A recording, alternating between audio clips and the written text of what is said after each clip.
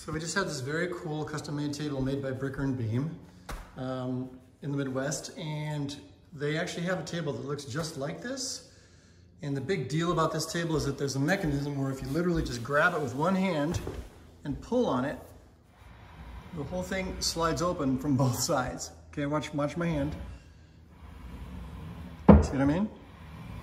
Literally opens and closes with a little, not a little bit of effort, but not too bad. And um, the difference between the way they normally make it and the way I ask them to make it is that when you pull it open, it's actually open on the top. And you can actually see these two sort of sliders which have the mechanism which causes it to slide open and closed. I wanted to be more like a traditional coffee table where there were cubbies underneath and there's an extra service where you can plunk down drinks. And it actually opens pretty darn far. Let me use the old, I mean, it gets, it gets big. It gets almost too big for this space. And um, the other cool thing is that they actually made for us, I asked as, as a special treat, oh, so I can grab a couple coasters made out of, this is, this is Wenge wood. This is actually Wenge veneer, and this is walnut. And on this side, they made coasters. Well, I just got to store them over here out of walnut, which is actually the type of wood that was used on the, for the, the top surface. And you can still stuff magazines underneath there and it goes all the way through and all that stuff.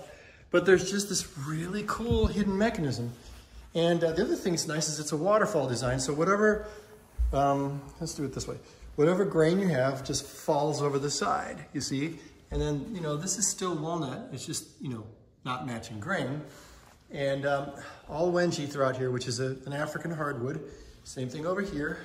And then this live edge here is kind of an on-trend kind of thing. You know, these days, I'm gonna push it back together real quick.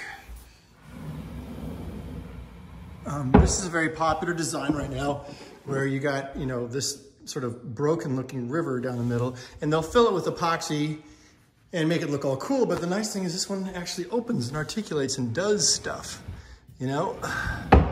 So pretty happy with it.